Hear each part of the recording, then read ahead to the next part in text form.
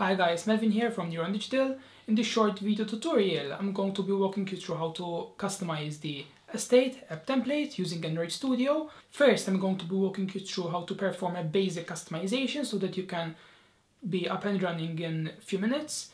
Then I will be showing you how to further customize the app by, for example, adding your own adverts, changing the app icon, translate to different languages, and other useful things that you might need.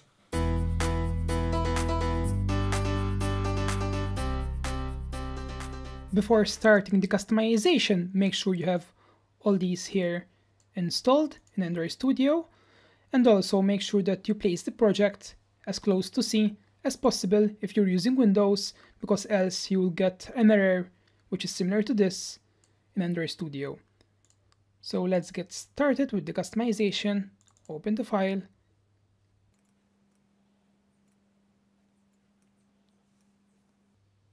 Make sure you have Estate here with the Android Studio icon selected, click OK. Okay, so the project has been imported, as you can see from here. The first thing we need to do is to import the JSON file that we have downloaded from Firebase. If you haven't done this, watch the server-side tutorial and it will walk you through how to get this JSON file. I'm going to select project files from here and I'm going to open up and we need to replace this JSON file from here with the JSON file you get from Firebase. So I have the JSON file here. I'm going to copy it and paste it in here. To ask you to overwrite Okay, so that's replaced. Now let's go ahead and change it back to Android once again. And the second thing we're going to do is to rename the package ID.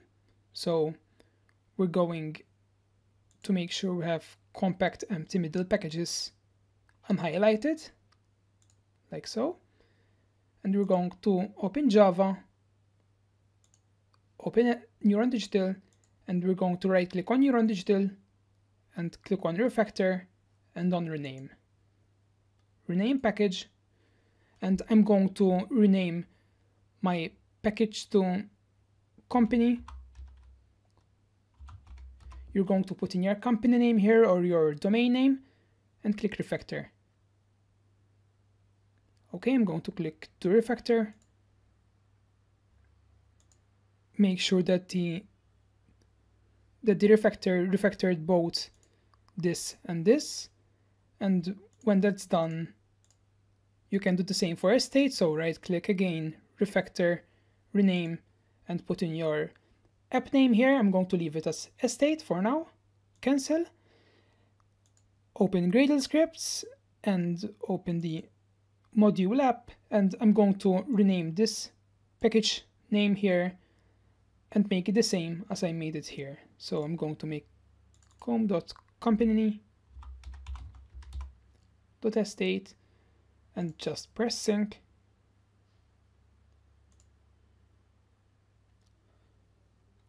Okay, so now I'm going to open up the server again and I'm going to copy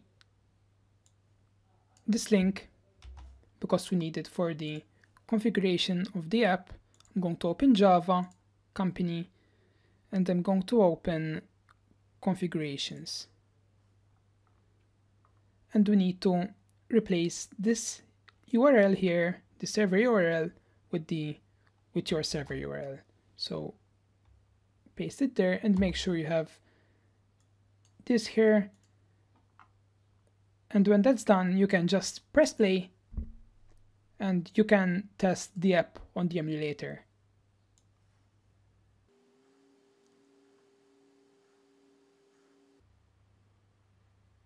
As you can see, the app loaded successfully and it, it's displaying the same property that we added to the admin page in the first tutorial.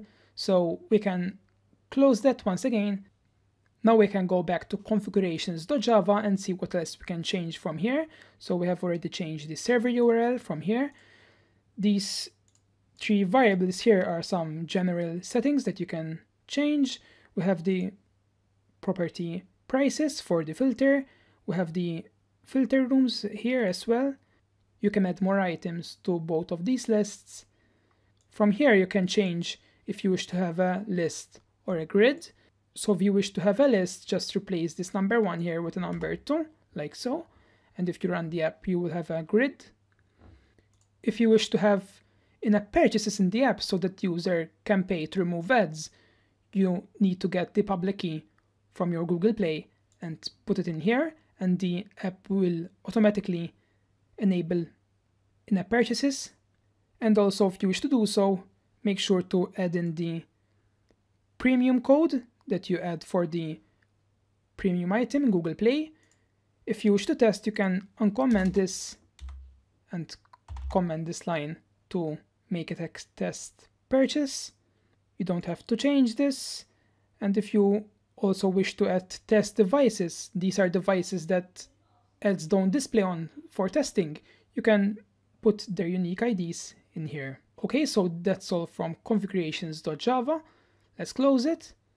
And we can open now resources, values, and strings.xml.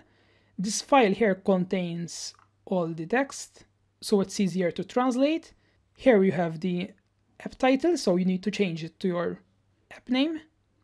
You have your currency and you have all the navigation titles, for example, here. And well, you have all the text which you can translate easily. Currently, the app doesn't have any ads in it because these fields are both empty. If you wish to add your own ads, get a NAD unit ID from AdMob and you can place them here and the ads will display automatically.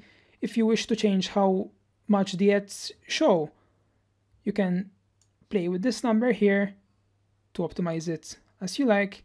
Here you need to put the same Google Map API key that we used for the server to enable the Google Maps in the app.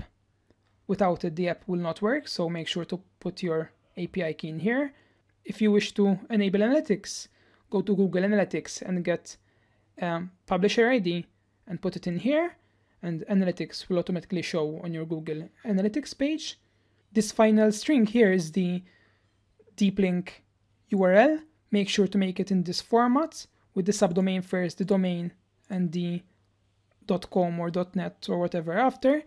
This URL here plays two major features. So first of all, when you press share in the app, so we can it from here. When you press this share, it will be shared along with the property ID after it. And the second feature is that the app will always listen to it. So when you click on such a URL on your phone, the Estate app will automatically open. So when you share that URL and someone else opens it, it will open the app for him and direct him to the property that you shared. So we're done from this file. Let's go ahead and try to change the icon. Open MIP map here. And to change the icon, just right click here, click on new, image asset, rename this as icon, select image, and you can import an image from here. And when you're done, press next, and you will replace these icons here with your icon. The app has these four major images here, so if you wish to change them, just copy and paste your own images with the same names here in the drawable folder. If you wish to change the app colors, you can do so from resources values colors to XML. So here we have the major colors, which you can change by replacing these codes here. When everything is done, just go to build here, click on generate signed APK, and you can follow this wizard to export the app to an APK file which you can then upload to Google Play.